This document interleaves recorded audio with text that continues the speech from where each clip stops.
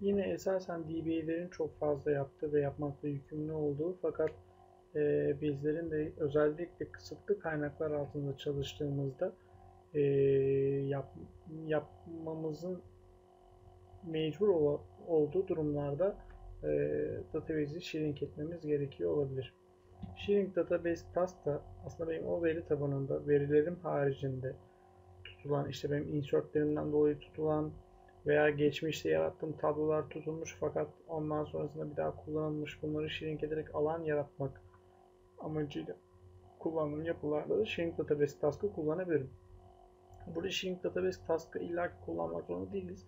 Eğer e, Shrink Database'in e, SQL kodunu biliyorsak Execute SQL Task'la da bunu çalıştırıyor olabiliriz.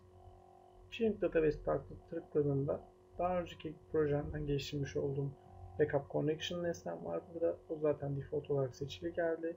Sonrasında Adventure Works'ü seçtim. Ve bana çeşitli ayarlamalar çıktı. İşte %50 büyüm, 50, 50 MB büyüsün veya işte %10'luk yer kalsın gibi veya işte retain feed space in database files database üzerinde yapılsın veya operating sistem üzerinde gibi benim burada çeşitli senaryolarım var. Bu senaryolar sonrasında dediğim gibi istiyorsanız bunu alırsınız. SQL execute SQL task çalıştırırsınız. İsterseniz bu şekilde bırakarak shrink etmenizi sağlayabilirsiniz. Fakat gördüğünüz gibi shrink işlemi burada son derece kolay yapılıyor.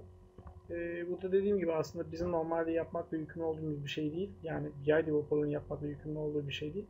Fakat öyle anlar geliyor ki veri tabanınızda sürekli yeni bir şeyler yaratmışsınız veya bir iki kullanımlık bir şeyler yaratmışsınız. Fakat bu diskinizde çok ciddi derecede alan kaplıyor. Belli periyotlarda bunu kendiniz de DBA'lere mahkum olmadan, mahkum demeyeyim, DBA'lere mecbur kalmadan yapabilmenizi sağlıyor.